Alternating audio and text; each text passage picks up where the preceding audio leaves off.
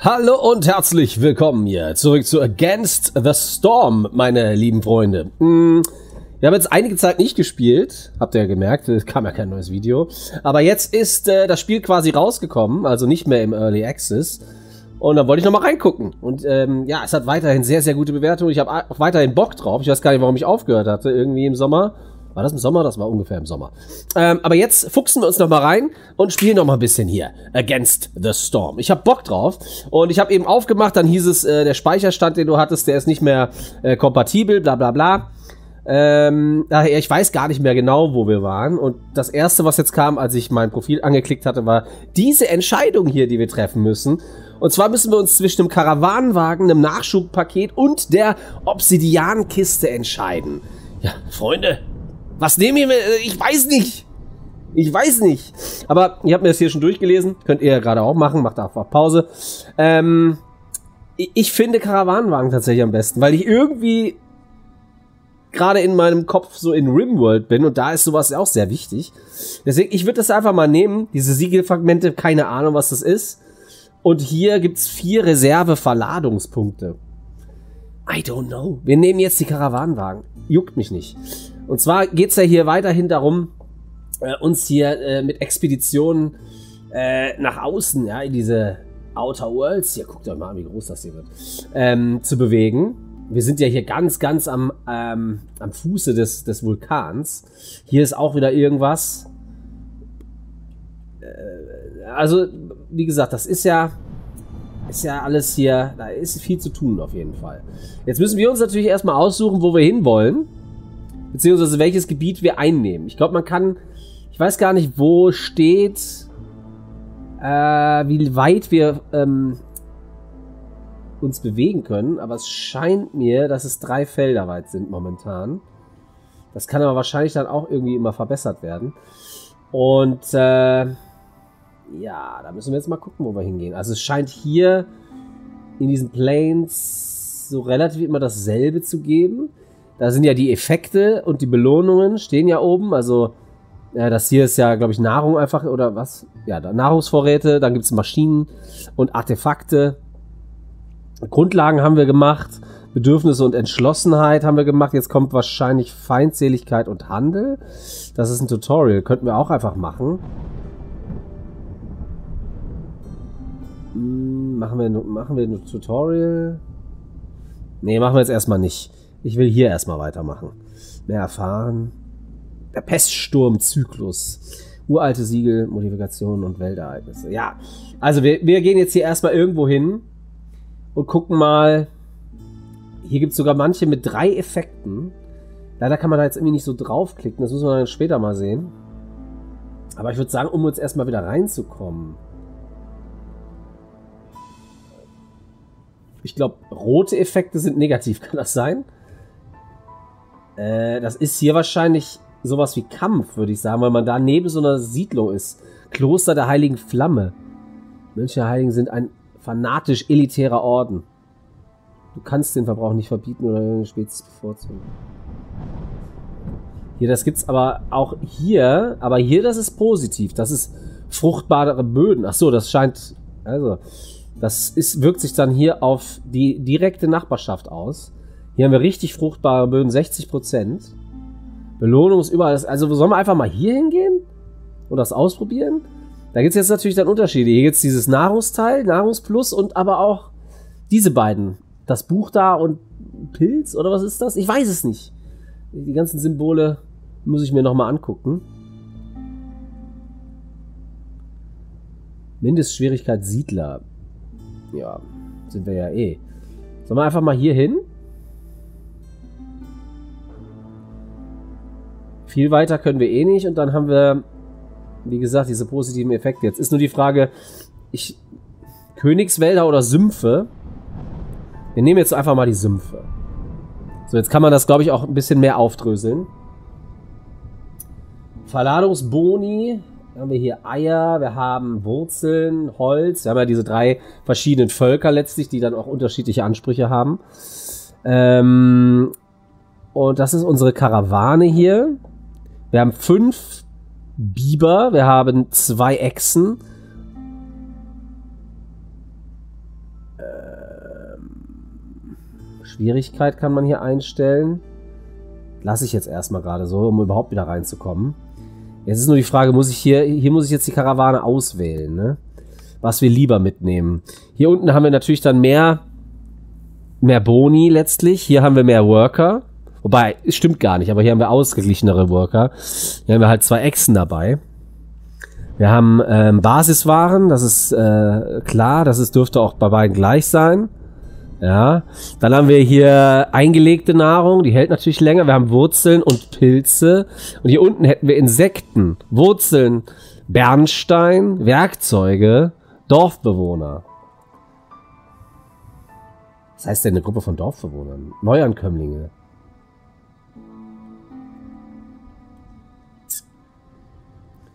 Hier ist noch eine Zusammenfassung. Die sind wir ein raues und kaltes Land, das von vielen verschiedenen extrem widerstandsfähigen Pilzarten beansprucht wird. Der Boden hier ist extrem hart und felsig, so dass sich nur schwer etwas anbauen lässt. Die Region ist berühmt für riesige Organismen in den Wäldern zu finden. Vielleicht sollte ich doch besser den anderen nehmen.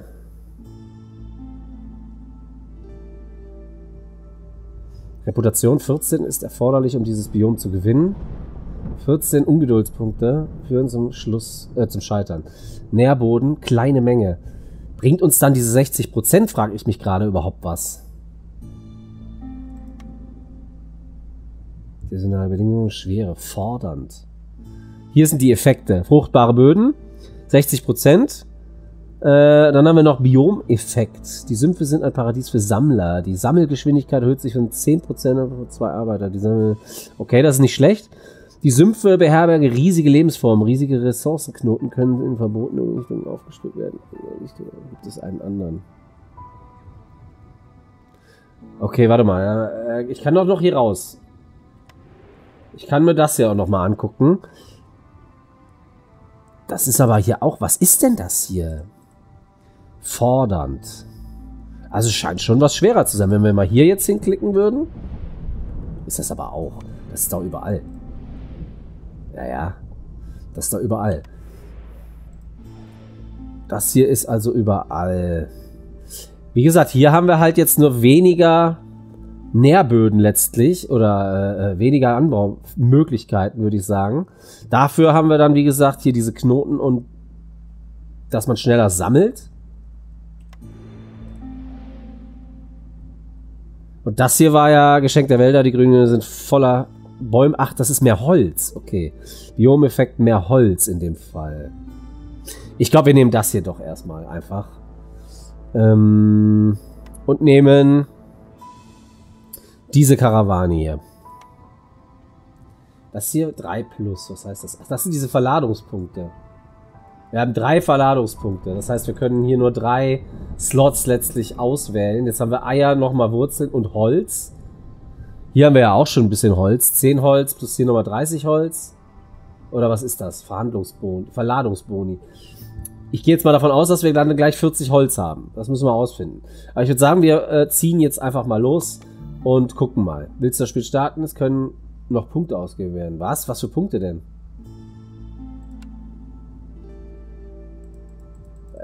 Was für Punkte können denn ausgegeben werden, bitte?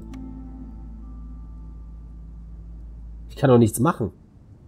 Wo können denn hier Punkte ausgegeben werden? Ach, hier, ach, okay. Das, äh, das muss ich so mitnehmen. Okay, dann machen wir das so. Gut.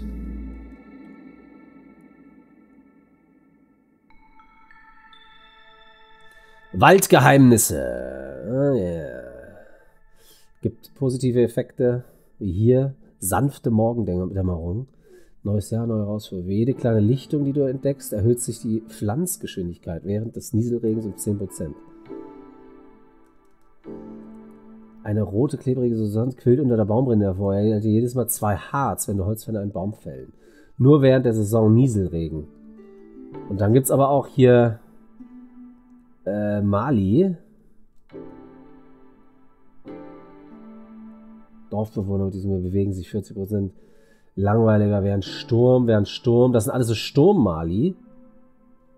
Malusse? Mali? Ich weiß es nicht. Ähm, ja. Und das sind die positiven. Was ist hier? Was heißt das? Das Ausrufezeichen weiß ich nicht.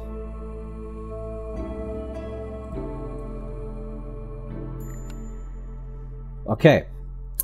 Äh, dann haben wir jetzt erstmal Pause hier. Hier sind die verschiedenen Lichtungen. Hier sind wieder Feinde unterwegs. Was haben wir jetzt für eine Saison gerade? Wir haben jetzt, was haben wir denn jetzt? Haben wir... Ah, hier steht's. Nieselregen, ne? Ja, 1, nächster Sommer in vier Minuten. Gut, gut, gut, gut, gut. Dann würde ich sagen, haben wir jetzt 40 Holz? Wo ist mein Holz? Brauchen wir erstmal Unterkünfte natürlich. Hier ist unser Haupthaus. Ja, wir haben 40 Holz. Alles klar. Äh, dann gucken wir jetzt erstmal. Hier wir Gebäude auswählen.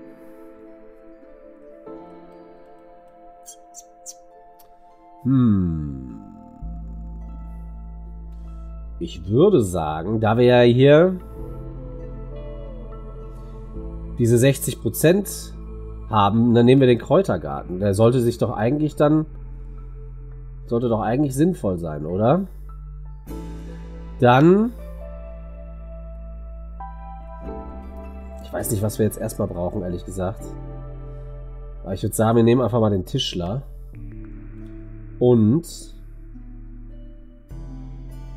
Regenmühle, was? Mehl, Schriftrollen, Baumaterialienpaket kann verwendet werden.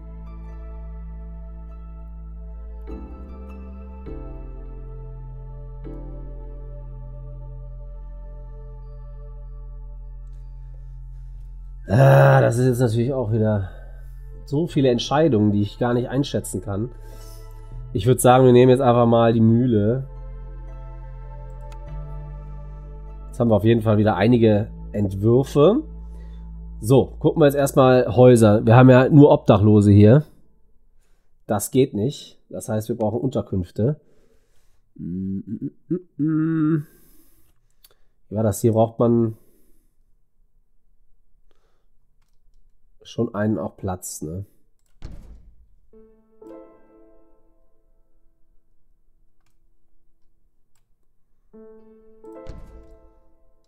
So, was kosten die? Kosten die 10 Holz? Kann das sein?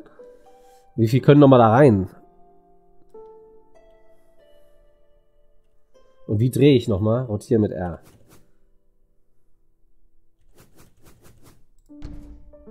Machen wir mal 4.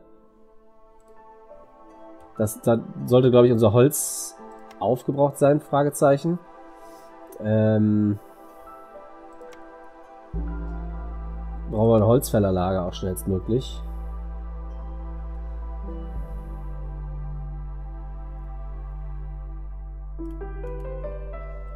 Äh, gehen wir hier unten hin.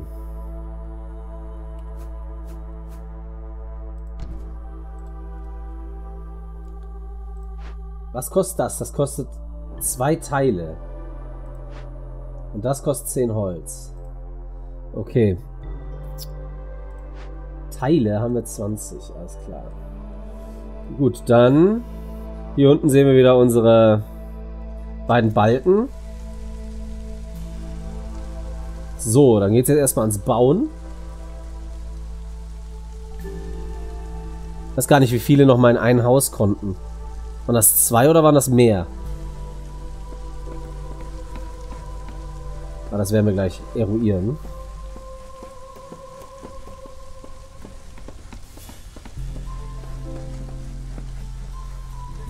Hier haben wir Brokkoli, Moos-Brokkoli-Beet. Hier haben wir nahrhaften Nährboden. Hier haben wir irgendwelche Blumen, Flachs. So, jetzt, ich glaube, zwei, drei. Drei können in eins, dann reicht es ja erstmal. Schnell mal den Holzfäller bauen. Steinmetz brauchen wir hier nicht. Wo ist denn der Kräutergarten, hier. Da braucht man diesen Boden hier. Da können wir das... Geht das? Kein Baumaterial. Ja, kommt ja gleich. Das braucht das Holz wahrscheinlich. Oh, Bretter. Okay. Hier wollen wir erstmal Leute. Biber natürlich. Und die sind wegen unserem Boni sind die natürlich ein bisschen schneller. Das ist ganz gut. Ähm, aber wir brauchen dann natürlich jetzt auch noch eine... Boah, wo ist das? Industrie, Werkbank. Die macht... Kann produzieren Bretter. Tischler kann produzieren auch Bretter.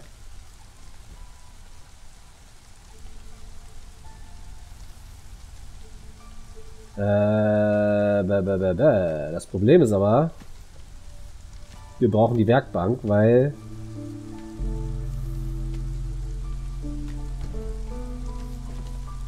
wir haben keinen Stoff. Und ohne Stoff können wir das eine Gebäude gar nicht erst bauen. Das heißt, das hier muss jetzt mal schnell gebaut werden, damit wir Bretter kriegen. Das hier war der die Zufriedenheit, ne? Also die Echsen sind schon ein bisschen zufriedener. Aber ich weiß gerade nicht mehr genau, was die wie essen.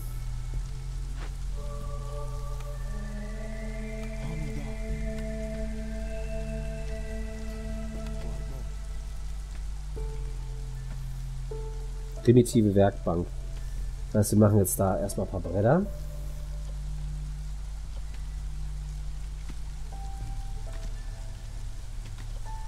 Könnte auch Stoff herstellen, allerdings brauchen wir dann Pflanzenfasern, wofür wir wiederum Erntelager. Aber das ist Kohl hier. Ne, da unten ist Flachs.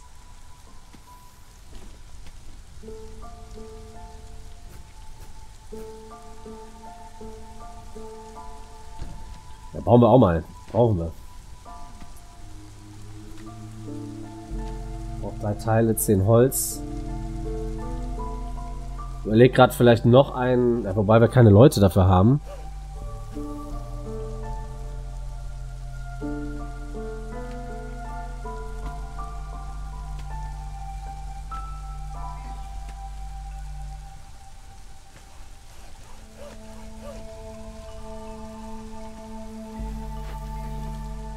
So, hier werden jetzt auf jeden Fall ersten Bretter gefertigt.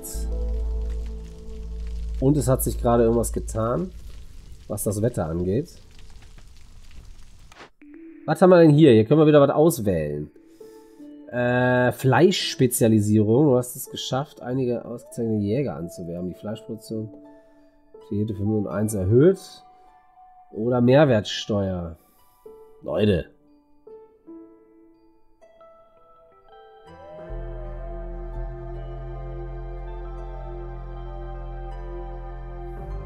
Und ich kann auch ablehnen, dann kriege ich Bernstein.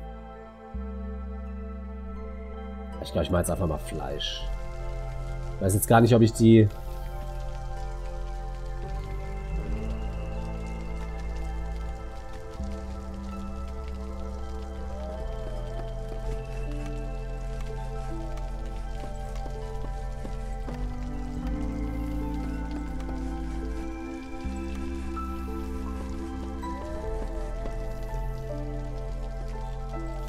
ich hier eigentlich bei dem Lager hier... Brauchen die irgendeine Ressource? Das weiß ich halt nicht. So, hier lasse ich jetzt mal eine Eidechse arbeiten. Die da die Pflanzenfasern rausreißt.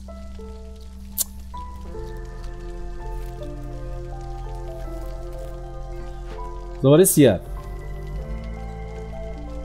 Holz müsste doch jetzt schon da sein, ein bisschen. Bretter. Hier sind keine. Wo sind denn die Bretter? Aus acht Stämmen gibt es zwei Bretter? Oh. Fragwürdig.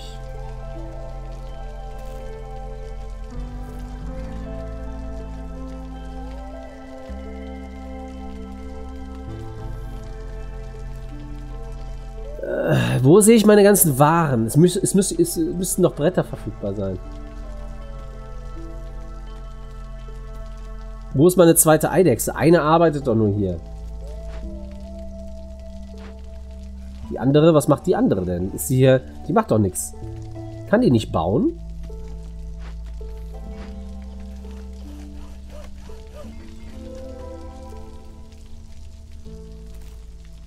Können Eidechsen nicht bauen, kann das sein? Bin mir nicht sicher. Ich habe jetzt mal einen abgezogenen Biber. Der scheint hier die Bretter gerade rüber zu bringen. Das ist schon mal gut. So, was haben wir hier? Ähm, Aufträge. Ah, jetzt müssen wir uns erstmal aussuchen, was wir hier für eine äh, Auftragslage annehmen. Äh, Missionsziel. Bahn, drei Lichtungen zu entdecken. Dafür kriegen wir drei Lichtungen oder einfacher Weg. Kostet keine Ressourcen, beschleunigt die Dorfbewohner. Was, ich soll 35 Wege bauen und kriege dann was? Schaufeln und Kiste Stein. Ne, wir machen das.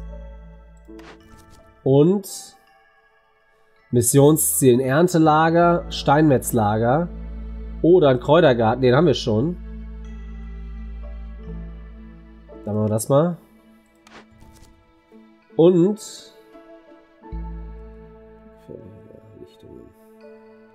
Zwei Lichtungen und ein Gebäude.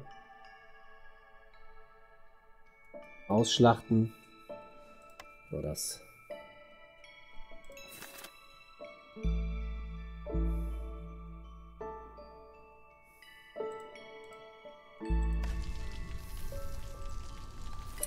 Es geht ja jetzt los. Hier haben wir schon die erste entdeckt. Äh, einen Obelisk.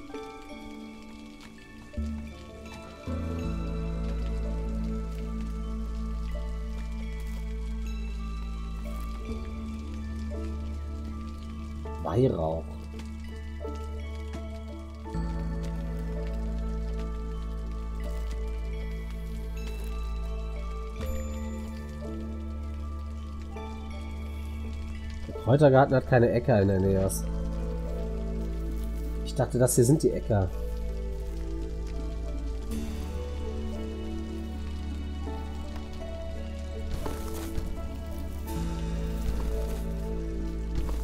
So, jetzt hat er doch Äcker. Was machen wir jetzt? Kräuter und Wurzeln, ne? Wird er wahrscheinlich hoffentlich ausgesucht. Da ich jetzt nicht wirklich Arbeiter dafür, ne? Muss dann der eine hin. Und wir machen hier einen weniger. Einen müssen wir zum Bauen lassen erstmal. Ja, was machen wir jetzt hiermit?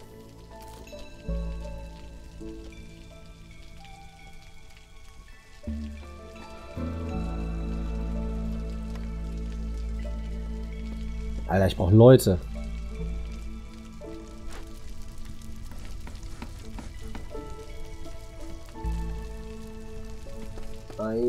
People.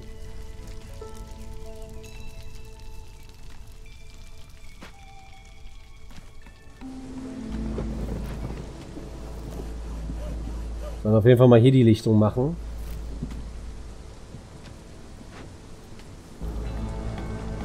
Der macht jetzt noch die Felder fertig und dann haue ich den erstmal hier rein.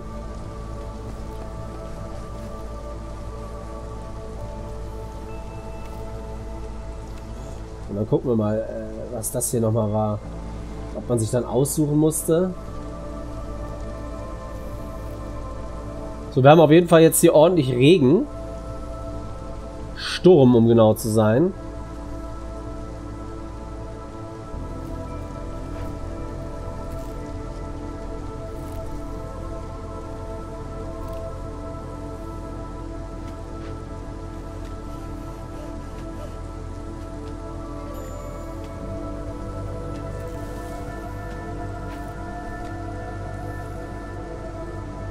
Okay, muss ich doch irgendwas sagen. Was?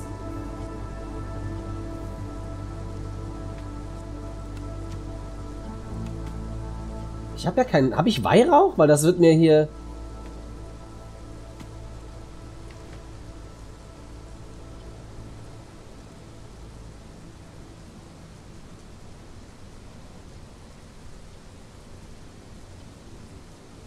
Ich habe keinen Weihrauch, soweit ich weiß.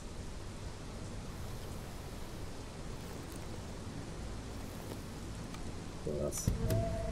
Gucken, ob jetzt irgendwas passiert. Ich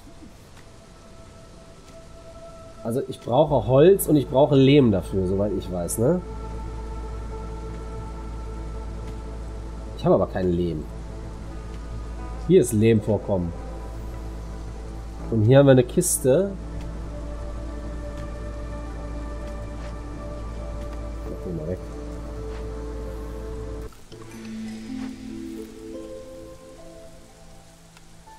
Der dahin. Und dann aufbrechen, zur Zitadelle senden. Ich glaube, das hier brauchen wir gerade eher. Haben wir fünf. Was ist das? Fünf Metall. Wir haben wir nicht.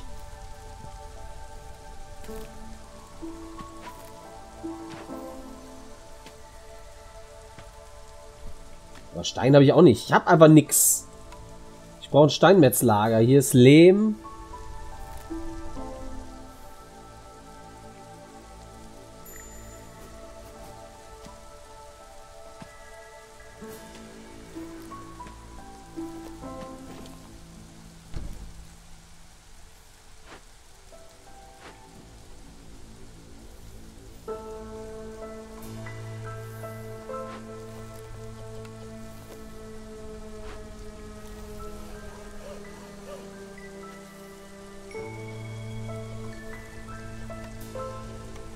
So, wir verschieben das jetzt mal nach hier.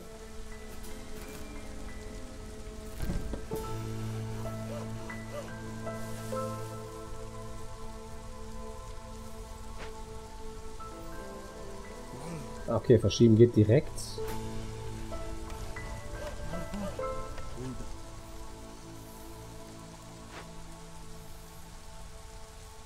Ja, hierfür brauchen wir Lehm. Lehm, Lehm, Lehm. Die Anzeigen unten gefallen mir ehrlich gesagt nicht so. Aha, neue Leute. Ein Mensch und eine Echse oder ein Mensch und ein Biber? Ich würde sagen, wir nehmen erstmal das und kriegen dann noch Lehm. Häuser sollten ja noch reichen.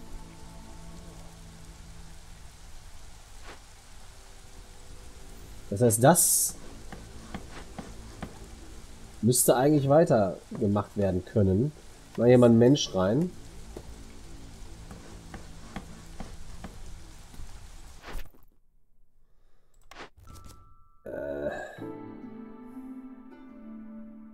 30 Sekunden lang über 24 Entschlossenheit bei den Menschen. Ach du Scheiße.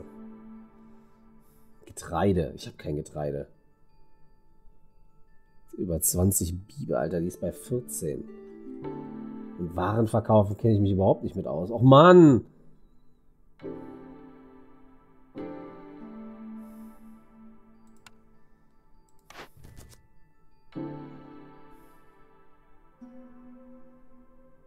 Echsen, die ist bei 12.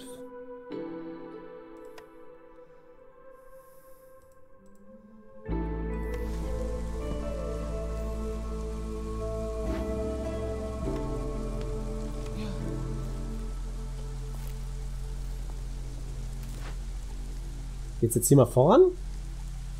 Er holt gerade Holz. Und jetzt brauchen wir noch Lehm, haben wir ja.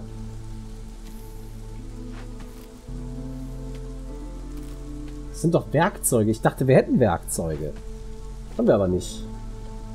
Wir haben Teile, aber keine Werkzeuge. Jetzt muss ich hier dann doch anders machen. Dann müssen wir doch das machen. Das glaube ich eher. Kriegt mal eher hin. Ach, das kann man hier. Seemark, Holzausrüstung oder Stein. Das ist hier auch nicht.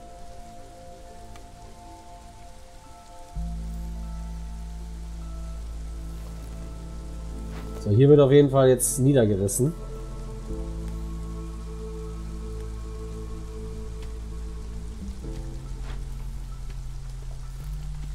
Und hier wächst, wachsen Wurzeln und Kräuter.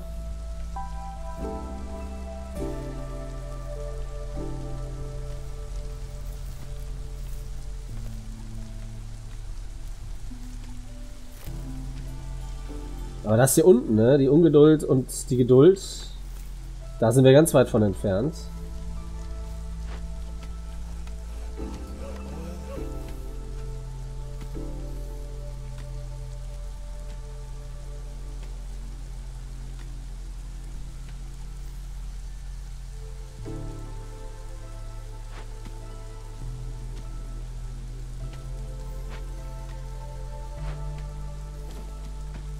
Keinen Stein. Das ist das Problem. Wir jetzt? Sommer.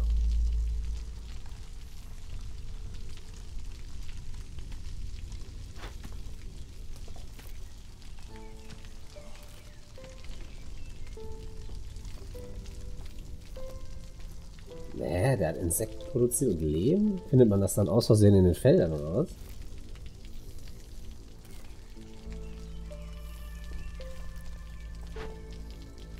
Kann ich eigentlich... Mh, hm, Mine. Und dann brauchen wir wahrscheinlich... Hier, der kann Werkzeuge produzieren. Der Tischler. Da brauchen wir auch wieder Stoff, ne? Aber wir haben Stoff. Woher haben wir Stoff? Hat der hier Stoff hergestellt? Offensichtlich. Und Ziegel.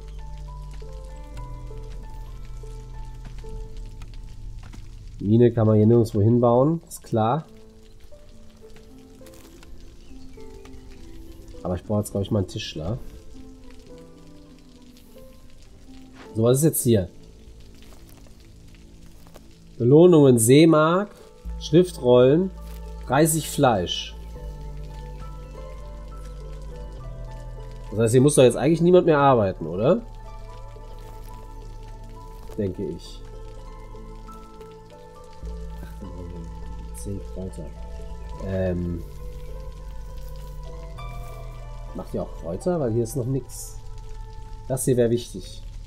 Eins von drei Lichtungen. Der nächste kommt jetzt. Er hat zwei Lichtungen schon entdeckt. Leute, die äh, Folge ist zu Ende. Wir äh, schauen mal, ob das hier in der nächsten Folge weitergeht. ich habe keine Ahnung. Ich kenne dieses Spiel nicht. da muss man erstmal durchblicken. Also, bis dann. Ciao.